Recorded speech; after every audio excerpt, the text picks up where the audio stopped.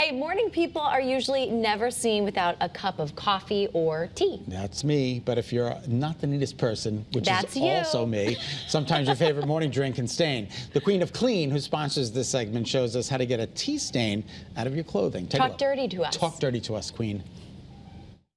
You know, sometimes when I'm not drinking coffee, I like to drink tea. Unfortunately, I'm not always very neat with tea either, so I have to take out my tea stains. And I want to show you how to do it. Now, this can be for hot tea or cold tea. And tea is hard to get out because of the tannins in it. So I'm going to show you some different things you can use. And whatever you have at home, go ahead and start with that. First thing is always my perennial favorite, white vinegar. Now, I've got the tea stains on the shirt. What I'm going to do is I'm going to take my white vinegar and I'm going to pour it onto that tea stain. And I'm just going to kind of tip it up and down like this so that it goes right onto the tea stain. And then I want that to soak so that that can break down the tannins in the tea. Now, if you don't have the vinegar handy and you have baking soda, you can take the baking soda and sprinkle it on and then I'm just going to tap that in with my finger because I want that to soak into the tea. And you can see the way it will start absorbing the stain in the tea. Let that sit until it absorbs well.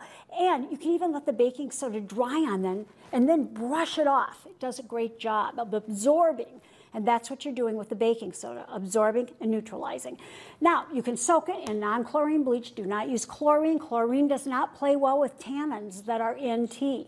So non-chlorine bleach, any brand you like is fine. And then one of my favorite go-tos for stains is lemon. Now you have to be sure that the clothes are color fast.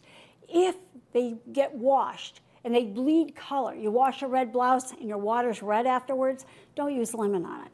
Otherwise, you're fine. So I'm just going to take my lemon. I'm going to come over here. I'm going to move down here so you can see better.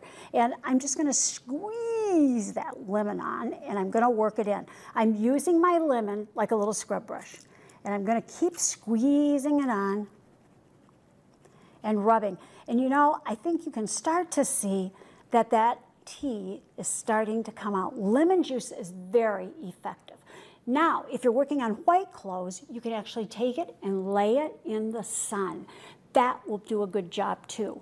So one of these things will work for you with tea, but remember always, the sooner you get to a stain, the better. So what I always do is I have a little lemon with my tea. In an emergency, I'm ready to treat that spot. For more information, go to queenofclean.com. Thanks for talking dirty with the Queen of Clean. Were you Love taking it. notes? I lemons, lemons. I'm going out and buying 17 lemons. There you go. Keep them in a bowl. Keep them handy. Absolutely. All right, up next.